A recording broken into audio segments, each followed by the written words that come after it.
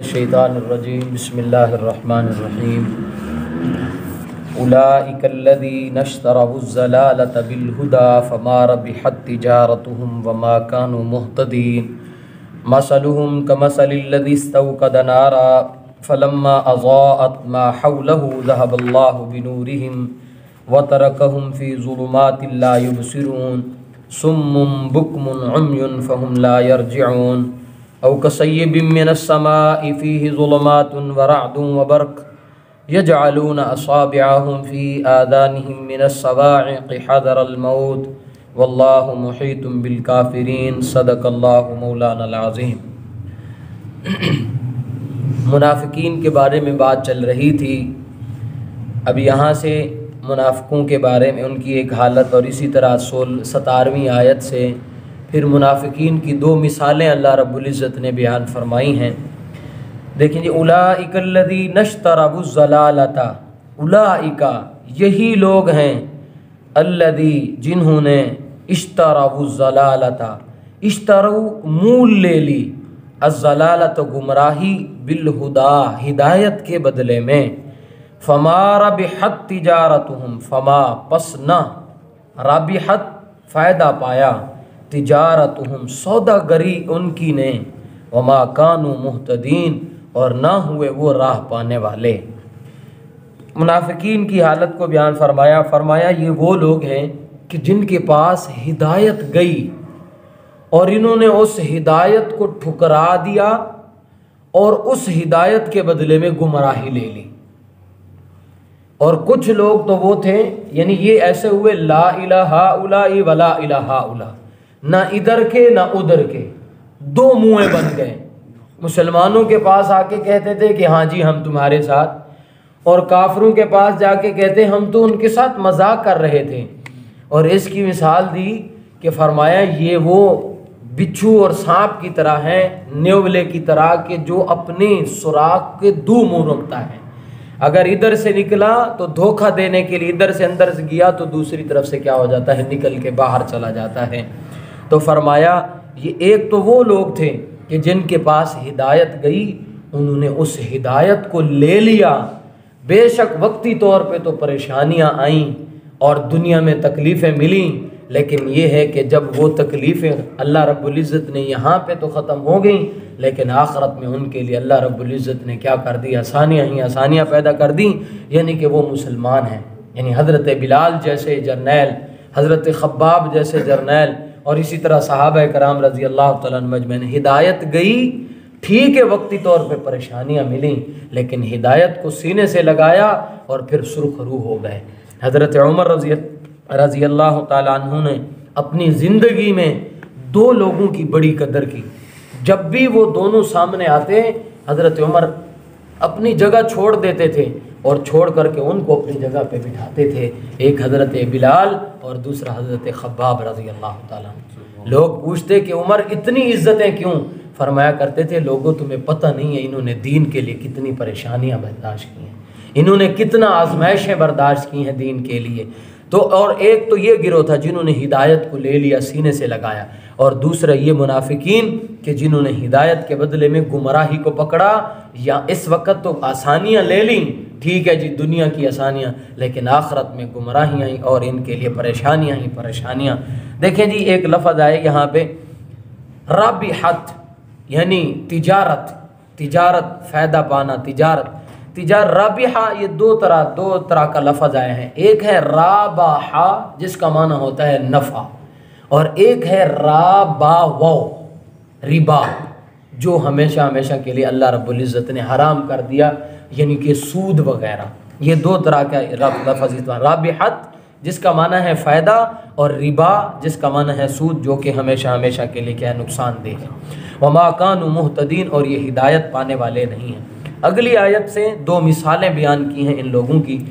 एक मसलुम कमसलिल्लदिस्तनारा फलम्मा अज़ात मसलुम मिसाल इनकी, कमसलिल्लदी, जैसे मिसाल उस शख्स की, कि जिस जो जलावे इस्तौकदा जलावे नारन आग को। फलम्मा अज़ात माहलहू फलम्मा पस जब रोशन किया, मा हौलहू, जो कुछ गिर्द उसके था। उसके इर्द गिर्द जो कुछ था, उसको रोशन किया। जहब अल्लाह बिनूरहिम। बस ले गया अल्लाह उसकी रोशनी को। व तरकहुम और छोड़ दिया उनको। फ़ी जुलमातिन अंधेरों के बीच ला युबसिरून कि वो देखने वाले नहीं थे। पहली मिसाल कि इनकी मिसाल ये है कि ये अंधेरों में थे। उस शख्स की मिसाल कि अंधेरों में थे। अंधेरा ही अंधेरा था, कुछ भी नहीं था। अल्लाह के नबी सल्लल्लाहु अलैहि वसल्लम रोशनी लेके आए। दीन की रोशनी लेके आए जिन्होंने उस रोशनी को लिया, अल्लाह रब्बुल इज़्ज़त ने उनके लिए तो राहें आसान फरमा दी और खोल दी कि जाओ जी, तुम्हारे लिए आसानियाँ आसानियाँ हैं। जिन्होंने उस रोशनी को ना लिया, बल्कि वहाँ अंधेरे में खड़े रहे। एक तो वो होता है कि रोशनी नहीं थी तो अंधेरा था, कुछ भी नहीं था, उसको नज़र नहीं आ रहा था। और एक वो बंदा है कि रोशनी हो गई, जैसी ही रोशनी हुई, अल्लाह ने उसकी बसारत ले ली। आँखों की बसारत को अल्लाह ताला ने ले लिया। अब ये बंदा एक मजबूर हो के जो है ना अंधेरे में है। और एक वो बंदा है कि रोशनी नहीं थी, अंधेरा था। लेकिन जब मोहम्मद रसूलुल्लाह सल्लल्लाहु अलैहि वसल्लम रोशनी लेके आए, उसने उस रोशनी से आँखें बंद कर ली, अपने आप को खुद ही अंधेरे में डाल दिया। ये वो मुनाफिक है। रोशनी तो थी, लेकिन उससे फ़ायदा ना लिया। देखें कि मिसाल दोबारा अब ये समझ आएगा। उनकी मिसाल उस शख्स की सी है कि जिसने जलाई आग फलम्मा अजात बस जब रोशन किया उस आग ने माहौलहू उसके इर्द गिर्द को, यानी मोहम्मद रसोल्ला के दीन ने उसके इर्द गिर्द को रोशन किया माहौल जहबल्ला बिनूरहिम तो उनकी बसारत को अल्लाह ताला ने ले लिया, व तरकहम फ़ी ज़ुलमातिल्लायुबसिरून और उनको अंधेरों में छोड़ दिया कि वो कुछ भी नहीं देख सकते।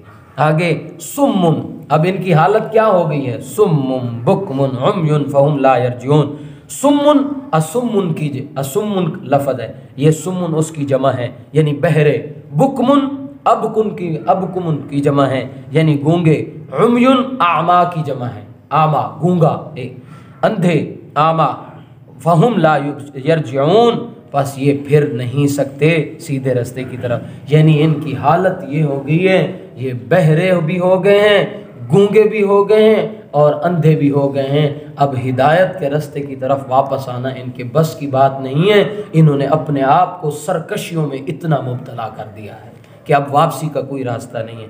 औ कसैबिन समाफ़ी जुलमातुम वरादुम वबर औ कसैबिन या मानद उस मीह के, उस बारिश के मिनसमाई जो आसमान से है।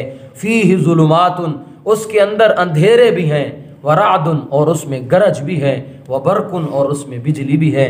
यजालून असाब्याहम यजालून करते हैं, असाब्याहम अपनी उंगलियाँ, फ़ी आज़ान अपने कानों में मिनसबाक़ हदर मौत, उस कड़क के डर से, मौत के डर से कि कहीं हमें मौत ना आ जाए। वल्लाह मुहीतुम बिल काफिरीन। फरमाए, अल्लाह तो इस जैसे काफरों को घेरने वाला है अल्लाह घेरे हुए है। कि मिसाल, कि आसमान से बारिश बरस रही है ईमान का नूर बरस रहा है, यानी कुरान के बारिश आ रही है, नूर हिदायत आ रहा है। लेकिन ये है कि उसके अंदर अब क्या है, कड़क गरज वगैरह भी हैं। अब ये लोग क्या करते हैं?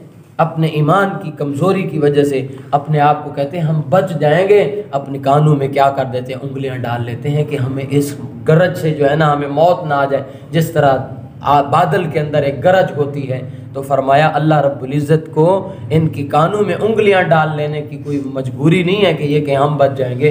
वल्लाह मुहीतुम बिल काफिरीन। अल्लाह तो इस तरह के काफरों का अहाता किए हुए सारे उसके कब्ज़े कुदरत में अल्लाह जब चाहे सबको उचक ले। जजाकुम कल एक बात हुई थी वो हज्जाज बिन यूसुफ के ज़माने वाली।